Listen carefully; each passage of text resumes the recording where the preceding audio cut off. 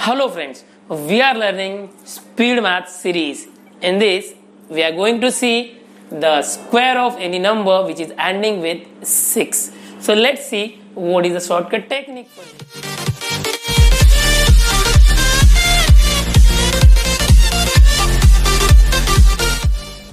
If we have a number 36 which is ending with 6 and we want to take square just look here. Write 6 as it is. Then the number before 6 is 3 plus 1 3 plus 1 add 1 to the same number. We get 4 then double the number.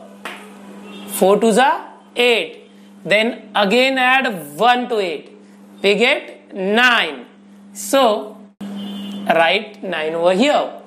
Now the first number is 3 the consecutive number is 4 means 3 multiply with 4 3 4s are 12 so this is the square of 36 you get here. Let's see one more example. If i have 56 and how to solve this square? Write 6 in the last digit as it is.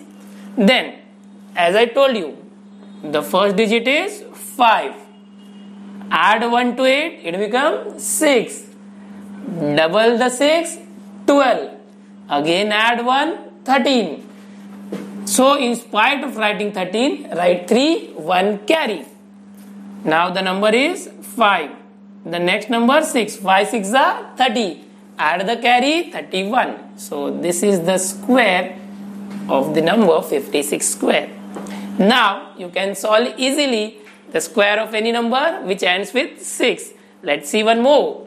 If i have 76 square now in this number there is a 6 so write 6 as it is at the unit place.